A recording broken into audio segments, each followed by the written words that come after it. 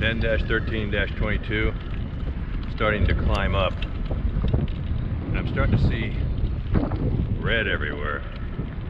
I'm not sure well I don't see it on my white and my yellow and I don't see it in the sky but I see it on the asphalt. I'm not sure if I'm seeing red iron ore salt or if I'm starting to get dehydrated. I've been drinking lots of water. I still got one hydration pack left drank up all my electrolytes. I'm on the uh, Gatorade I got from uh, Needles. Ugh, it's a terrible one.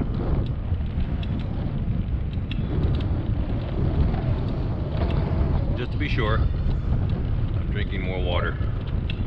Although that looks really red to me right there. I'm tired though. This heat is uh, cooking me.